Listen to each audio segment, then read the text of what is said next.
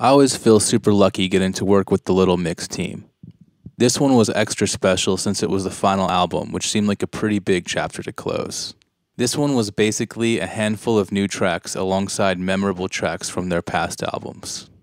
My favorite part of the process is hearing the songs and seeing the sessions when they're first sent over because the production is always next level. You got Steve Mac, Goldfingers, Uzo, Tre, lots of other great producers on there too. A few of the new mixes were finished over Zoom. I would basically stream the audio live here in Atlanta to Uzo, Tre, and Phil, and we could work together as a team to tidy up the mixes. The live streaming sessions make it really easy to fine tune things that may take a ton of emails or calls to explain.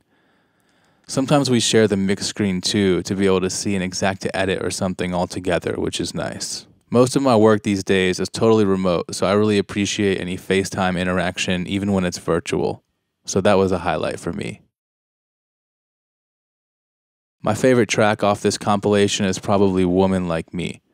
First off, it's a killer song with great production by Steve Mac, then also, it's just totally stacked with talent. Seeing my name credited next to people like Ed Sheeran and Nicki Minaj is insane. Working alongside Phil Tan mixing this one was an epic experience, and I think it came out really awesome.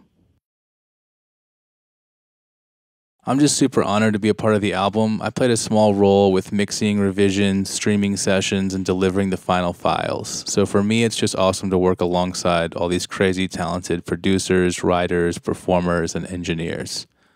Little Mix is also incredible, of course, too. So yeah, just a super cool experience.